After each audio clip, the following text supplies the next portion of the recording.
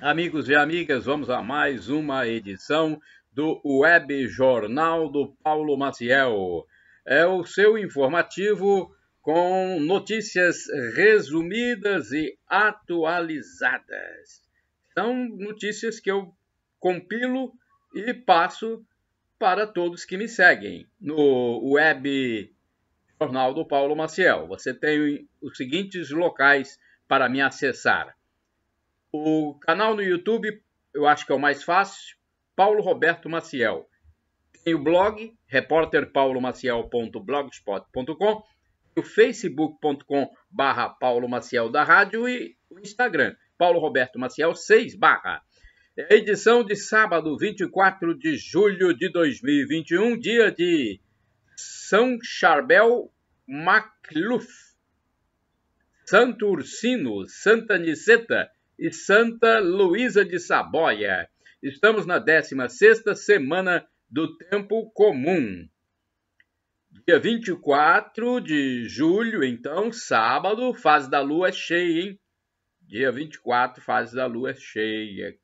Começou no dia 23. Estamos no 205 dia do ano.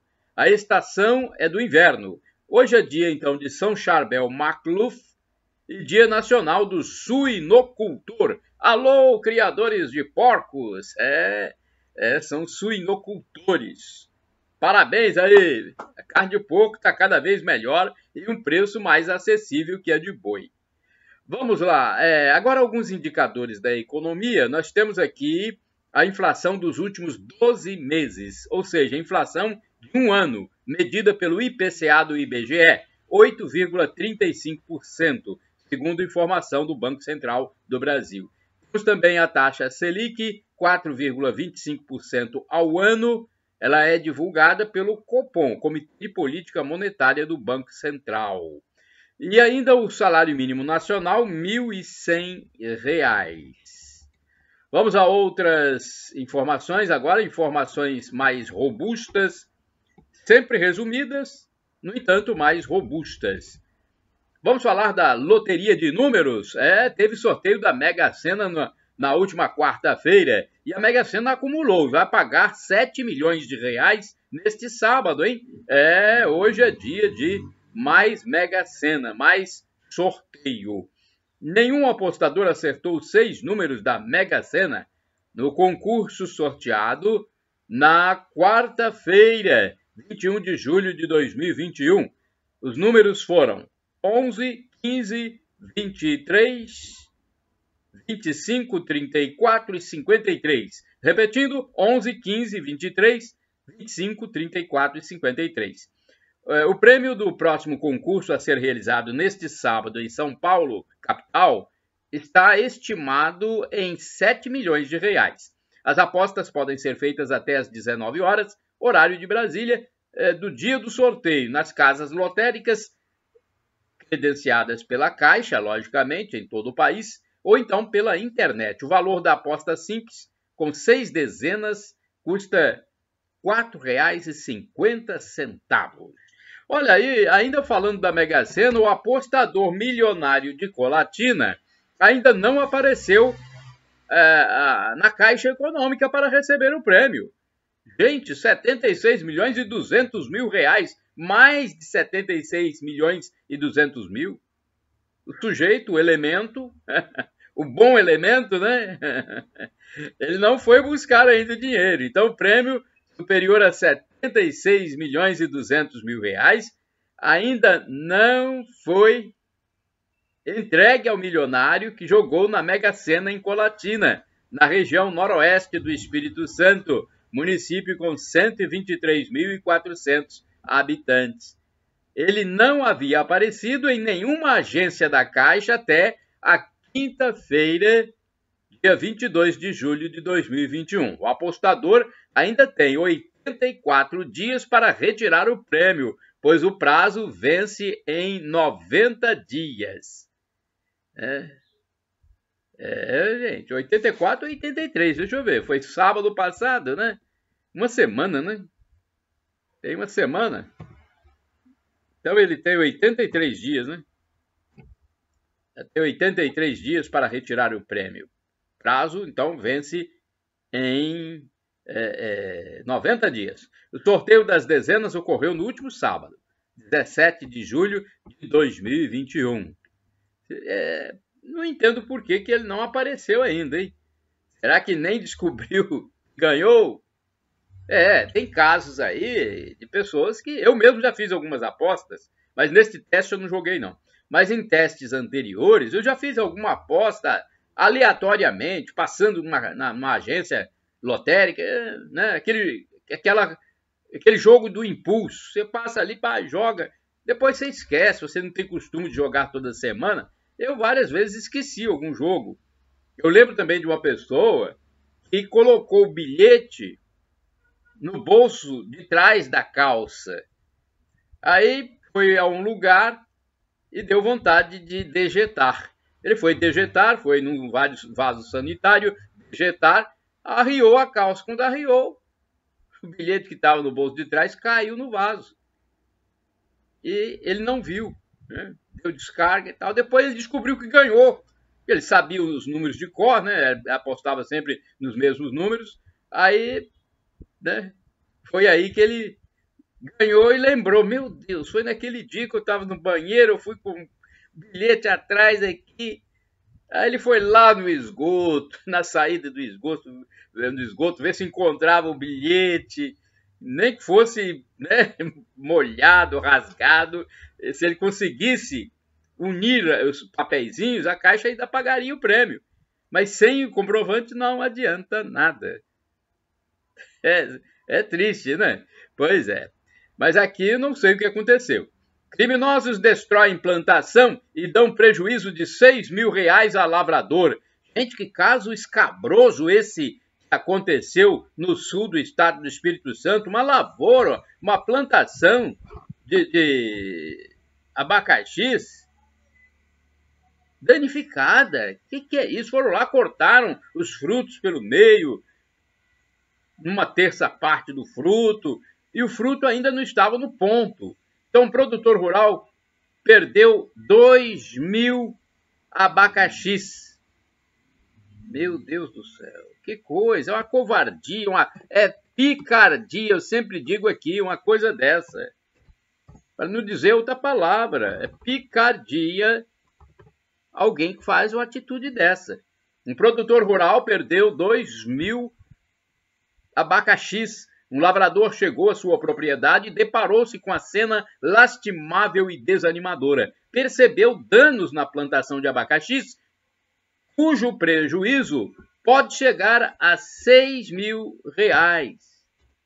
Fruto de um grande trabalho desse homem do campo. Em ato criminoso, uma ou mais pessoas foram até a plantação e destruíram cada pé da planta. O caso se deu no município de Marataízes, no sul do estado do Espírito Santo. Vamos esperar que a polícia consiga localizar esse criminoso. O pessoal trabalha de sol a sol na plantação, colocando insumos, irrigando, cuidando e depois percebe um crime dessa natureza. Criança brinca e coloca fogo em casa. Olha, você que tem sua criança, seu filho, sua filha, tenha cuidado, cuide bem da sua criança. Não deixe nada inflamável na mão dessa criança. Parte de uma casa ficou destruída em incêndio no interior do município de Itapemirim, no sul do Espírito Santo, mais precisamente na localidade de Brejo Grande do Norte. A criança da casa estava brincando com um isqueiro e acidentalmente colocou fogo no colchão. Meu Deus do céu, hein? Os bombeiros foram chamados e conseguiram controlar o sinistro. Os moradores foram orientados a deixar o imóvel e buscar abrigo na casa de familiares até a reparação dos danos. É, tem que consertar, tem que reparar lá o, os cômodos que foram prejudicados, aquela, aquela fuligem que fica nas paredes, aquilo é, tem um cheiro muito forte, as cinzas que ficam espalhadas pelo chão, tudo aquilo não pode ser é, é, respirado, não, né? Então, cuidado, procure um parente mais próximo ou vai morar num paiol momentaneamente até né, fazer a higienização da casa e, e reparar os cômodos que foram prejudicados. Pesquisa informal de preços. Olha, eu quero passar para vocês os, os valores de produtos que eu adquiri, porque eu faço pesquisa em dois, três ou quatro supermercados antes de comprar. Eu vou a mercearias também, aí eu faço pesquisa. Pesquisa de preço, quando eu vou comprar alguns produtos. E quando eu vejo os locais que vendem por preço mais módico, aí eu adquiro. Olha aí, eu adquiri o produto aqui nesse supermercado.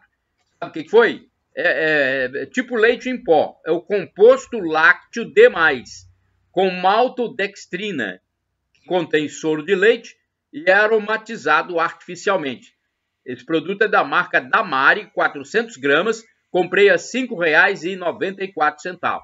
Foi no supermercado Casa Grande, filial 12, Avenida José Zuen.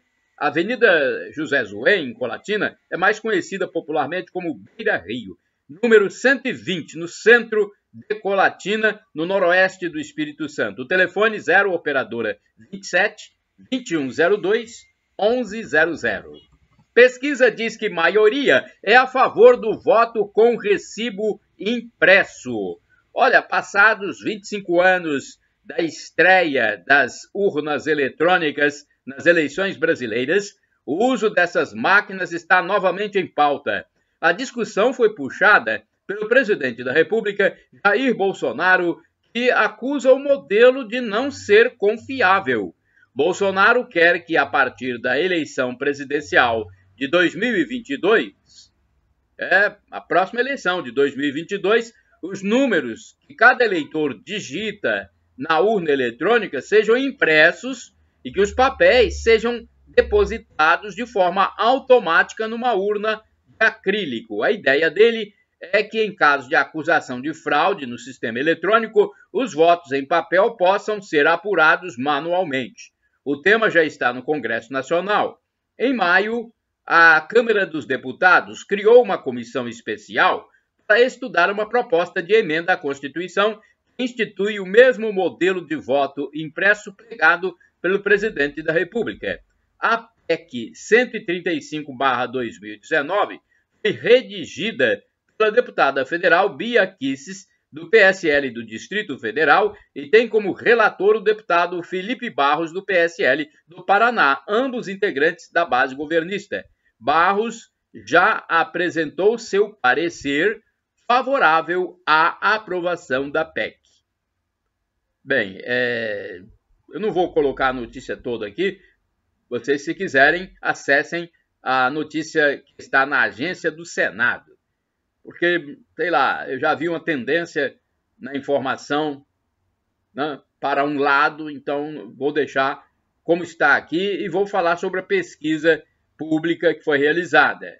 Uma pesquisa realizada em julho, agora, neste mês de 2021, com margem de erro de 2 pontos percentuais, segundo a CNT-MDA, CNT Confederação Nacional dos Transportes. Então, é... então, uma pesquisa aponta que a maioria dos brasileiros é favorável ao voto auditável é, com o fornecimento do recibo. Você vota na mesma urna eletrônica, só que fica ali um recibo de papel. Como você faz na, na lotérica? Quando você vai à lotérica, você não joga lá, não é tudo eletrônico e não sai um papelzinho, um, um, um impresso? O que custa isso? Quando a gente vê muita gente contra, principalmente esses engravatados, é sinal de que pode ter alguma coisa errada. Então, é, eu nem ia falar sobre esse assunto, mas agora eu sou favorável. Sou favorável também. Né? A pergunta: você é favorável ou contrário às urnas? A urnas é, com impressão do voto. 58%, olha, a maioria, disseram ser a favor, pois vai gerar mais confiança nos resultados. Foram contra o recibo impresso, somente 34,9%. Acreditando que o sistema atual funciona bem. 7,1% disseram não saber ainda a sua posição. É, mas agora eu já sei. Eu também fazia parte desse 7,1. Agora eu já sei. Eu sou favorável ao recibo do voto impresso. Tá bom? É, porque quando há muito engravatado contra e muita, muitos esquerdofrênicos, muitas pessoas de tendência esquerdofrênica contra, é sinal de que eu devo ser a favor. Brasil imunizando, fim do ano sem máscara. Olha, 100% dos capixabas adultos devem ser vacinados até o fim do ano no estado do Espírito Santo, segundo a expectativa do secretário estadual de Saúde, Nésio Fernandes. Com isso, Natal será sem máscara e em família no mês de dezembro. Olha, na minha opinião, isso aí, essa máscara pode tirar antes do, de, de dezembro. Antes de dezembro, a situação já estará mais sob controle em todo o país, não é só no Espírito Santo, não. É uma tendência nacional, porque o governo federal está enviando vacinas e mais vacinas para estados e municípios. Eu acho que deve ter até município ainda com estoque, porque é, muitas vacinas estão chegando a toda semana. Olha, é, é, é um assunto que merece nossa atenção.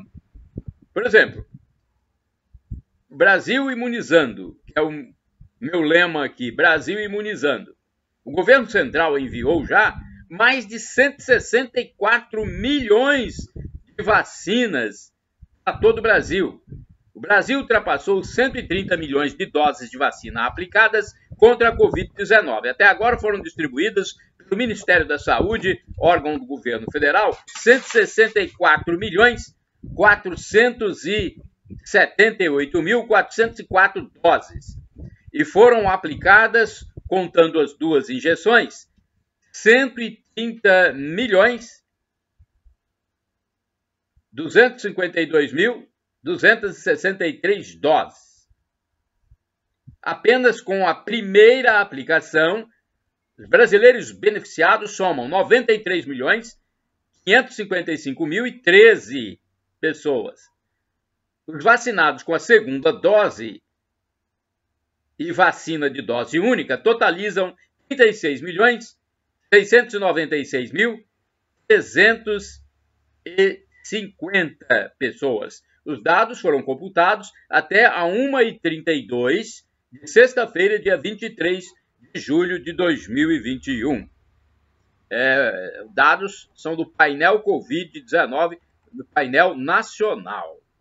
Vamos a outra informação, é, essa informação importante da TV Brasil Gov, hein? Indústria vai investir 240 milhões no nosso país. Olha a confiança dos investidores no nosso país, que bom, hein? Enquanto há muitos brasileiros aí é, negativistas, doentes mentalmente, com a mente calcificada, marxista, comunista, esquerdofrênica, é uma mente esquerdofrênica, é paixão na certa, porque é doença em cima de doença para a pessoa.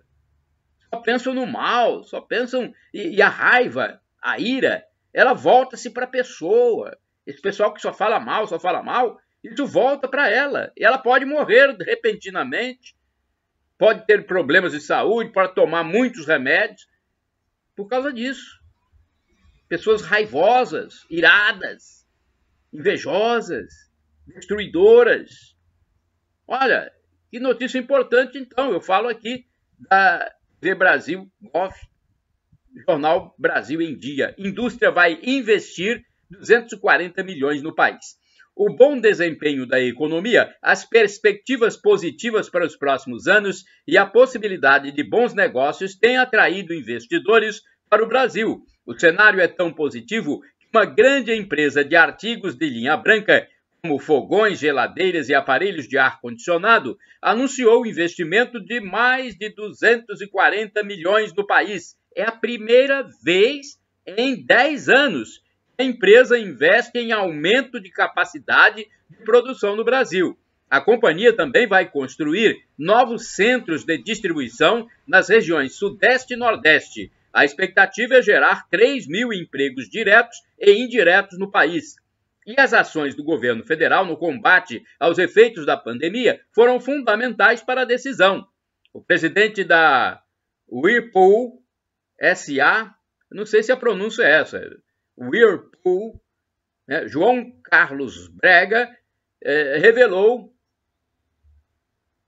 a atuação do governo permitiu que houvesse uma maior confiança em outros países da América Latina.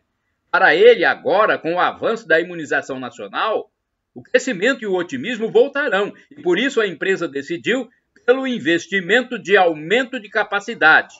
Para o secretário especial de Produtividade, Emprego e Competitividade do Ministério da Economia, Carlos Alexandre Jorge da Costa, o investimento é um símbolo de confiança no potencial de negócios do país. Além dos 3 mil empregos iniciais, poderão haver possíveis expansões de negócios caso o governo consiga acelerar a agenda de competitividade nos próximos anos, disse o alto funcionário do Ministério da Economia. Olha, Parabéns aí à empresa que vai investir essa grana importante para gerar três. É, deixa eu ver o total de empregos para confirmar para vocês. É, vai investir 240 milhões no país, né? E vai gerar pelo menos 3 mil empregos, né? Puxa vida, parabéns mesmo. Agora vamos às manchetes do jornal A Tribuna. Antes, deixa eu hidratar minhas pregas vocais.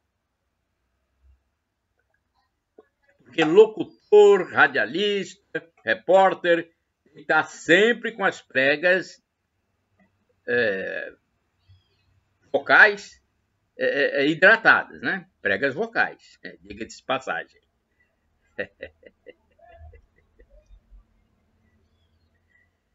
Eh, vamos às manchetes, então, do jornal A Tribuna, editado em Vitória, capital do Espírito Santo.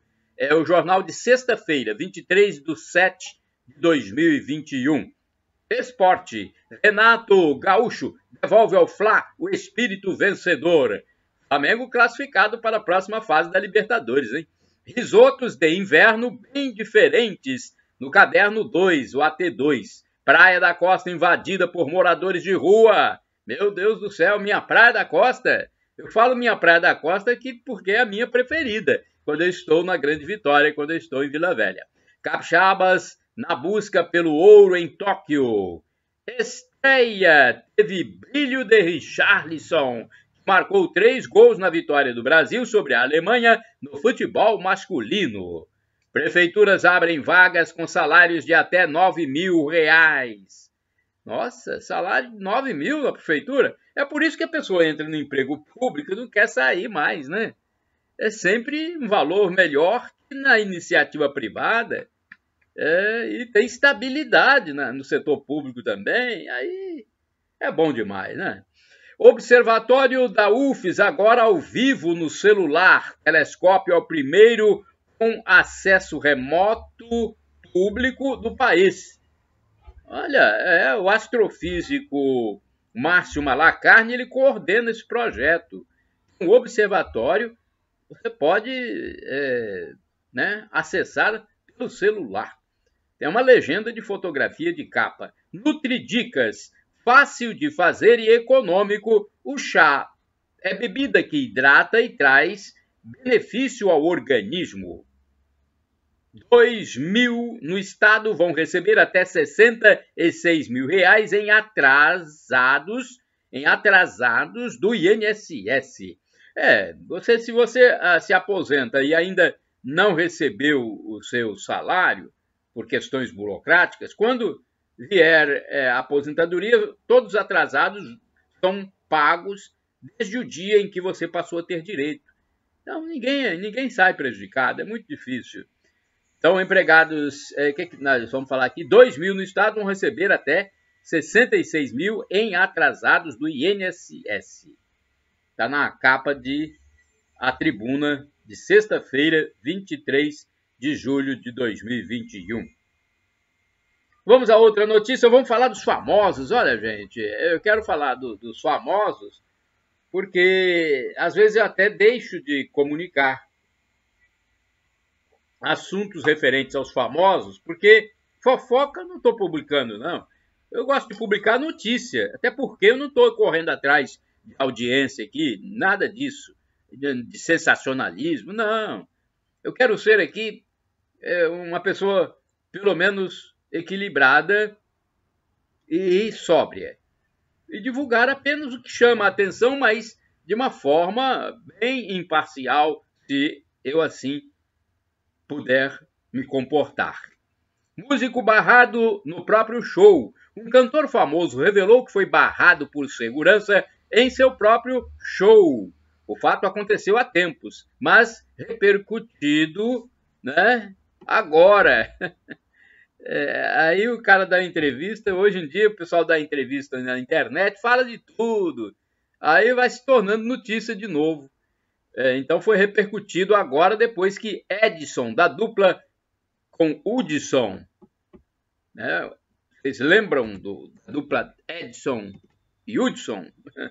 Pois é, o Edson, da dupla com Hudson, falou sobre o assunto em entrevista na web. O web na internet. O artista informou que teve que adquirir o cupom de ingresso para entrar no recinto do espetáculo e então se apresentar, porque o segurança não o reconheceu. O fato aconteceu perto do município de Rio Claro. Acredito que seja no estado de São Paulo. O segurança havia dito que seus superiores. É, o segurança havia dito que seus superiores é, orientaram. Ah, sim, é, o segurança está obedecendo ordens, né? Então, os superiores orientaram o segurança a não deixar ninguém entrar no setor em que ele estava atuando. E como o Edson não foi reconhecido, acabou sendo barrado. É, tem cantor aí que, né, é, não sei se ele tinha tomado umas e outras também, ah, pode ser, né? Não sei se ele estava desarrumado, tava, não sei o que, que aconteceu. Patrimônio de 40 milhões. Olha, o patrimônio do locutor noticiarista mais famoso do Brasil, o Cid Moreira, seria de 40 milhões de reais. O filho biológico e o filho adotivo estão movendo ações contra o pai, de 94 anos, reivindicando a sua guarda. Meu Deus do céu. Filho reivindicando a guarda se ele, eh, o pai já tem uma, uma companheira, uma esposa, é, atualmente, né? Poxa, eles criticam a atual companheira do, do seu genitor, cujo nome é Fátima. Quer dizer, aparentemente os dois vivem bem.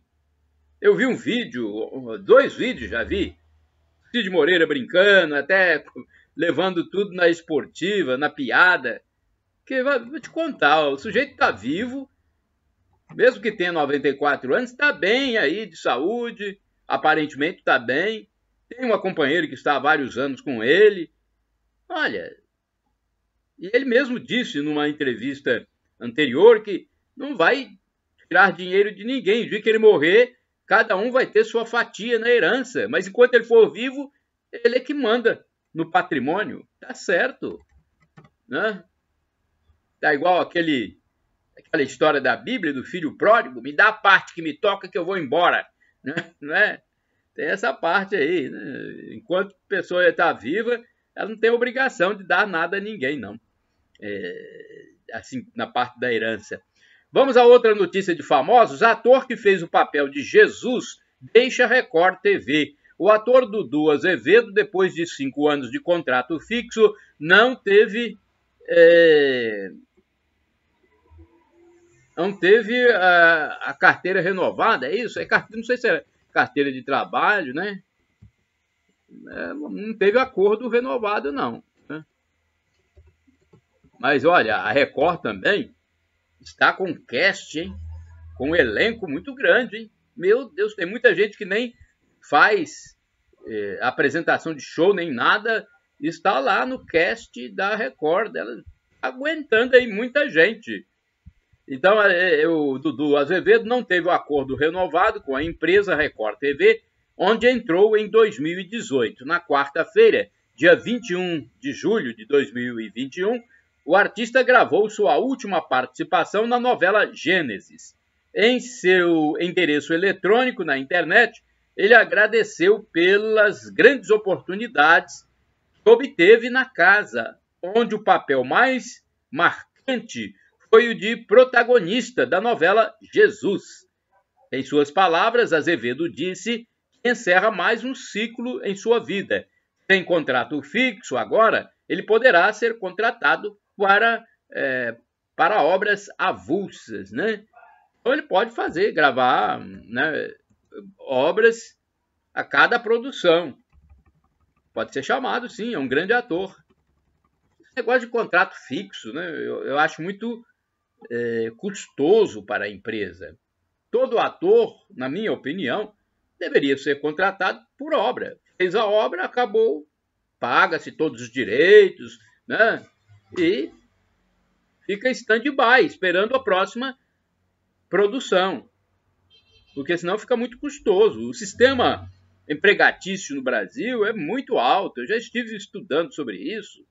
Até para pagar salário mínimo, manter empregado, eh, não é fácil. Nos Estados Unidos, a pessoa vai lá, trabalha e ganha por hora ou por dia. E não tem nenhum compromisso com a empresa.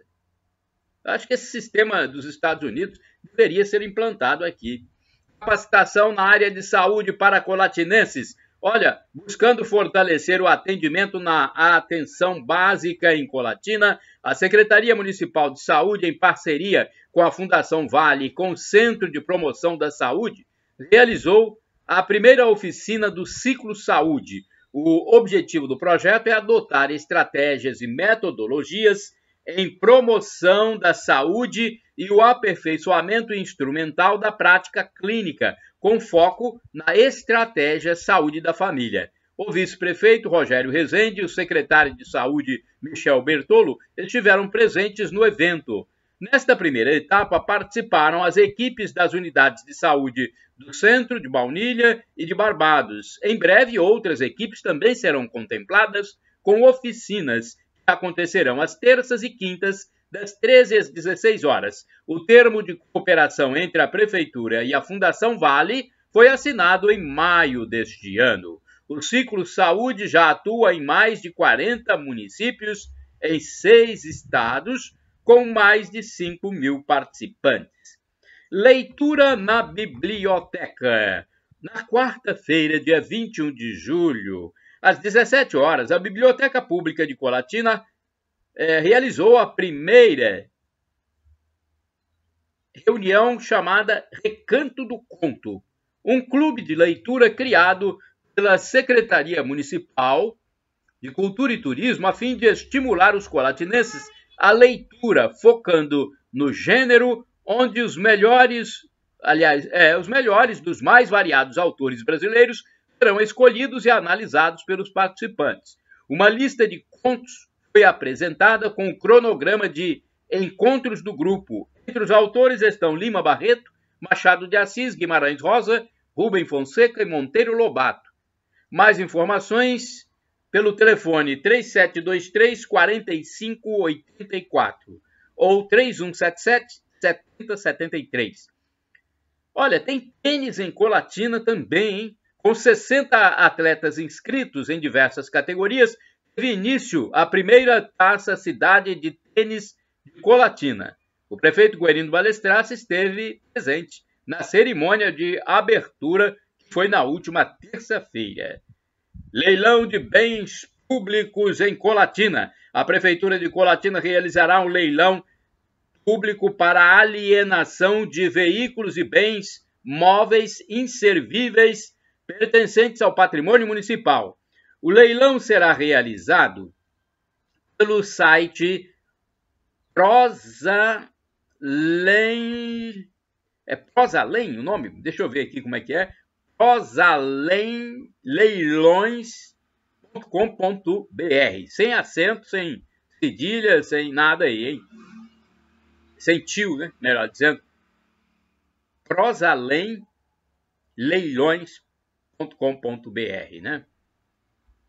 A arrematação será por lote e por maior lance. Os lotes incluem veículos de passeio, retroescavadeira, caminhão, van, ônibus, sucatas de ar-condicionado, mesas e cadeiras, eletrodomésticos, equipamentos hospitalares, entre outros.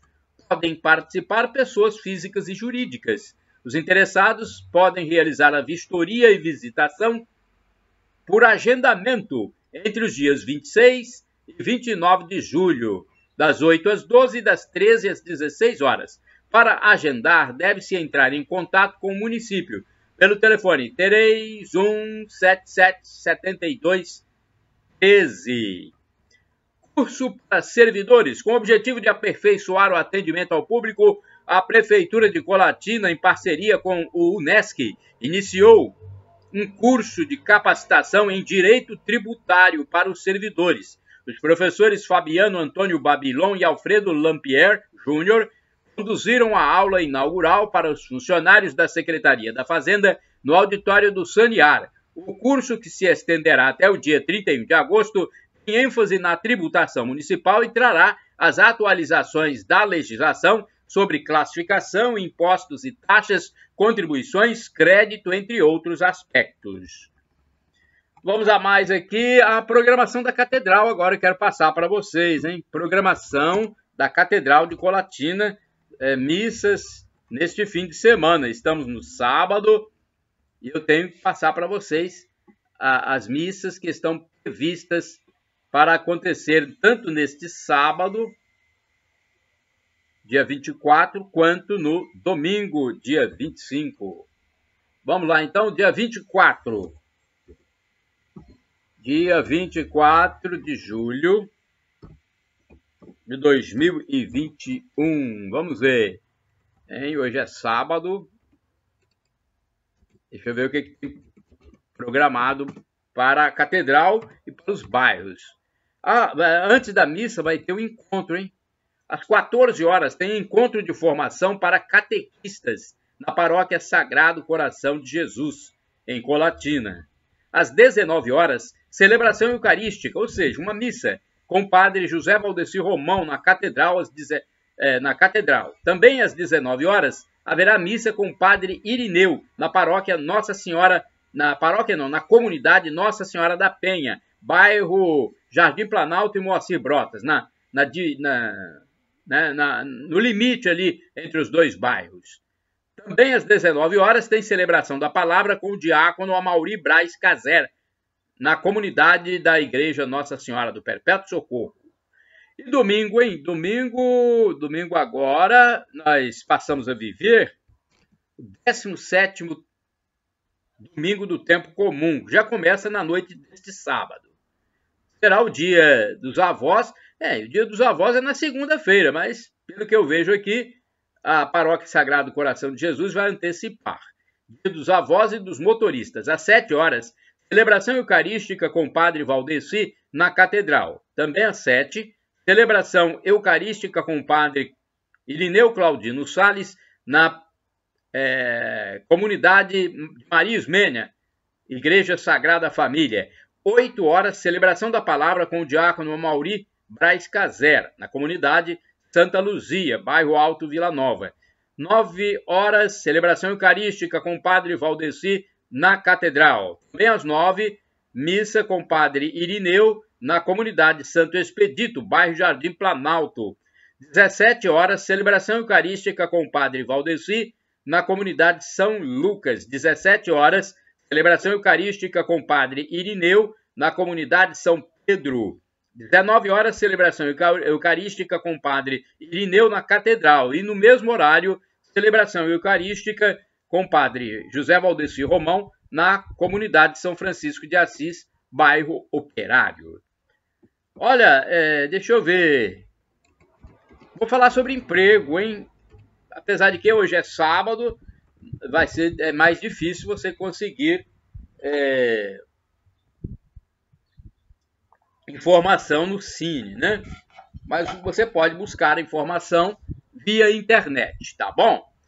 O quadro de avisos da Agência do Sistema Nacional de Emprego, Cine, de Colatina, anuncia que há 43 oportunidades de trabalho disponíveis. São vagas para algumas atividades. O atendimento presencial é feito pelo Cine é, com é, agendamento telefônico. O telefone é 0 operadora 27 3721 7102. Então liga. Hoje não vai dar, eu acho, porque sábado não funciona, mas você vai ligar na segunda-feira, né? Porque tem 43 oportunidades.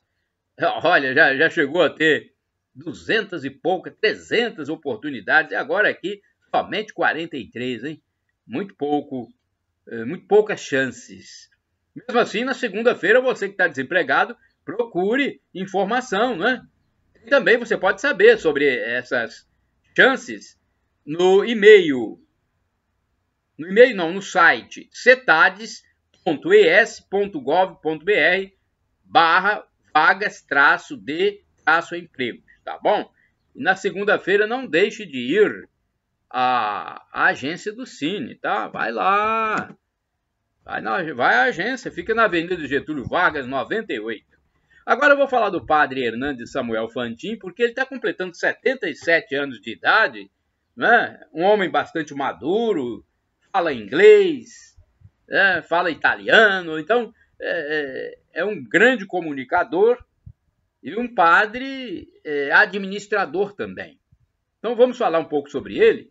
77 anos e ele está aí atuando ainda firme e forte. Não está emérito ainda não, né? Está atuando. Bem, a Diocese de Colatina fez uma homenagem natalícia ao padre Hernandes Samuel Fantin neste mês de julho. Ele completou 77 anos de idade no dia 13 e a data não passou em branco. Eis a mensagem dirigida ao sacerdote pela sua diocese, a Diocese de Colatina. No dia 13 de julho de 2021, padre Hernandes Samuel Fantin comemorou 77 anos de vida. Filho de imigrantes italianos, padre Hernandes nasceu em João Neiva e logo cedo foi conduzido para o caminho da igreja. Como coroinha, aprendeu as respostas da missa em latim e ajudava os colegas a decorar as orações mais difíceis. Os padres italianos barbudos da congregação comboniana perceberam nele uma semente de vocação e, aos 11 anos, ingressou no seminário em Vitória, onde conheceu o padre Acácio Valentim de Moraes, então reitor, e de quem herdou o gosto pelos estudos. Nas férias participava das missas e ajudava o povo a compreender os ritos da celebração. Seu pai começou a chamá-lo carinhosamente de Padreco, lembra Padre Hernandes. Aos 18 anos, depois de cursar filosofia em Belo Horizonte, Minas Gerais, seguiu para Roma a fim de iniciar os estudos de teologia na Pontifícia Universidade Gregoriana. Após seis anos na Itália, retornou ao Brasil e já não se sentia mais atraído para o sacerdócio. Então, preferiu seguir outra rota. Quer dizer, ele não foi ordenado padre, né? Pelo que eu entendi aqui. Ele estudou, mas não foi ordenado padre. A sabedoria do bispo compreendeu, mas meu coração não concordou. E ele me disse, né, o bispo da, daquela época, meu filho, vou continuar esperando. Hernandes, então, deu aulas na PUC, Pontifícia Universidade Católica de Minas, Trabalhou na Fiat Automóveis e na Mendes Júnior Internacional, onde teve a oportunidade de viver em países do norte da África, do Oriente Médio e da Europa. Num dos seus retornos ao Brasil, ele foi convidado para fazer parte de um coral de música gregoriana em língua latina. Isso começou a provocá-lo a aproximar e aproximá-lo da igreja, até que um dia, olha só, aos 48 anos, teve a coragem de tentar solucionar essa dúvida. Reconheceu e aceitou voltar ao primeiro amor, que é Deus. Não sabia que era Deus que estava me dando uma nova chance, um novo chamado. As brasas escondidas sob as cinzas fizeram o pavio fumegar de novo e a chama se acendeu. Recorda com entusiasmo. Foi acolhido assim na diocese de Colatina pelo então bispo Dom Geraldo Lírio Rocha, que havia sido seu colega de seminário. Ele chegou a Colatina no dia 15 de dezembro de 1992 e no dia seguinte o bispo lhe deu a incumbência de iniciar a livraria Cordes. Não existia a livraria Cordes em Colatina. Foi o padre Hernandes quem começou. Um ano depois, foi ordenado diácono e, aos 50 anos de idade, ordenado presbítero, ou seja, padre da catedral, na Catedral de Colatina. Olha, veio se tornar padre aos 50 anos de idade. Eu já fiz entrevista com ele. Eu e Luiz Carlos Maduro, eu fui né, redator e repórter da revista Nossa, do meu amigo Luiz Carlos Maduro, e eu escrevi a reportagem padre Hernandes. O Maduro só deu uns retoques lá, eu acho que o padre nem gostou dos retoques. Mas eu escrevi a reportagem na, da volta do, do padre para a igreja. Ele tinha saído, fez os estudos, mas depois foi lá para Mendes Júnior, foi para PUC, e aos 50 anos é que ele foi ordenado padre. Olha que história, hein? Poucos meses depois, Padre Hernandes se tornou chanceler da Cúria e pároco da recém-criada paróquia Nossa Senhora da Penha, no bairro Honório Fraga, em Colatina, onde permaneceu por nove anos. Com a chegada do segundo bispo, Dom Décio Sossais Adonati, foi escolhido para o cargo de ecônomo da mitra diocesana. Ele disse que o seu desejo era trabalho social junto aos mais necessitados, então ele se envolveu na criação da Mater Christi, da instituição chamada Mater Christi, do Centro de Acolhida de Criança e do Adolescente. Padre Hernandes foi assim eleito vice-presidente da Caritas Diocesana e depois presidente. A pergunta o que significa ser padre, ele responde: ser padre é seguir Jesus, servindo a igreja em função do povo santo de Deus, de modo especial os mais vulneráveis, para que todos tenham vida e vida em abundância. É, parabéns ao padre Hernandes, gratidão por tudo que realizou e ainda realiza pela Diocese de Colatina. Pois é, eu tive essa satisfação de ser aquele que entrevistou esse grande padre logo após a sua volta de da Mendes Júnior. Aulas em loco. Olha, o ministro da Educação, Milton Ribeiro, defende a volta do ensino presencial, hein? É, e aqui no estado, no dia 26 em diante, é, é obrigatória a presença dos estudantes na escola. Bem, vamos falar sobre o ministro, porque é algo mais transparente aqui, algo mais público, uma vez que ele fez um pronunciamento em rede nacional. É, mas ele falou antes dessa, desse pronunciamento, numa comissão da Covid. O ministro da Educação, Milton Ribeiro, defendeu a volta às aulas presenciais ao ressaltar a importância da aprovação do projeto de lei 595/2020, que classifica a educação como serviço essencial e com isso estabelece condições para a volta do ensino presencial. Milton Ribeiro lembrou que desde o início da pandemia, o país foi o primeiro a fechar as escolas e caminha para ser o último a reabri-las. Apoiamos a aprovação urgente do projeto. Nossas crianças e jovens precisam das escolas abertas Somos um dos últimos países do mundo a reabrir escolas, e isso não está necessariamente ligado à vacinação. A maioria dos países retomou as aulas presenciais ainda em 2020, quando nem havia vacinas. Esses países reconheceram os graves prejuízos que a ausência de aulas presenciais causa no processo educacional, comentou Ribeiro. O evento aconteceu no início do mês Bem, ele depois fez então um pronunciamento né, em rede nacional de rádio, de televisão. Acredito que seja só de, de televisão, né? Eu até vi uma parte do pronunciamento do ministro. Olha, desejo a vocês um bom sábado. Shalom Adonai é uma expressão hebraica que significa paz de Deus para todos vocês. Vocês que acessam o canal no YouTube Paulo Roberto Maciel, blog repórterpaulomaciel.blogspot.com, facebook.com barra Paulo Maciel da Rádio, instagram.com barra Paulo Roberto Maciel 6 barra.